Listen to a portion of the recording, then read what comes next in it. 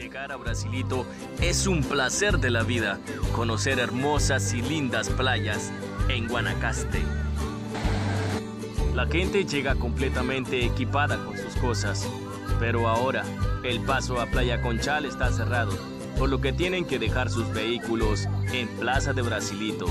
Algunos cobran hasta 5 mil colones por auto. Brasilito cuenta con su licorera, tiendas y souvenir, donde puedes comprar variedad de artículos. La zona es completamente segura, así que podrás caminar libremente por la playa.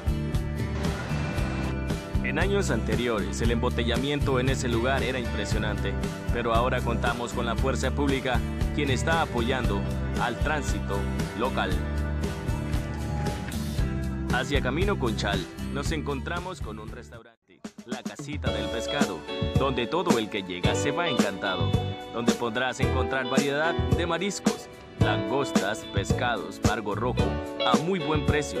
Así que deleítate saboreando los mejores mariscos de la zona, frente al mar. También podrás encontrar los mejores cócteles, piña colada, mojito, daiquiri, chiliguaro, caipiriña, entre otros. Así que no dejes pasar la oportunidad de llegar a Playa Brasilito y comer deliciosamente en la casita del pescado. El acceso de vehículos a Playa Conchal está completamente cerrado, así que únicamente te costará caminar un kilómetro y 15 minutos hacia Playa Conchal.